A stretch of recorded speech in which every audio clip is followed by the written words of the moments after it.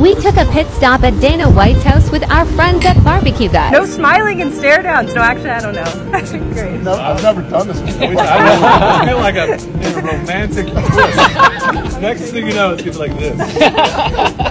I got We it. just met, you. now we're staring into each other's eyes. Welcome to my house. Conor McGregor doesn't do anything half-ass. Everything is over the top.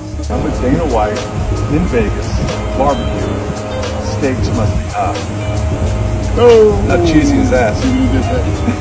Mara Lopez. I fucking love Mara and brought back a, a, a massive duffel bag full of corn. And they're actually delivering it to me today. Picks things up. She'd did good in my tip. She would good.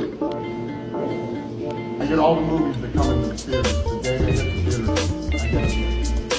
The other reason I call the house is up, too. Because I don't know.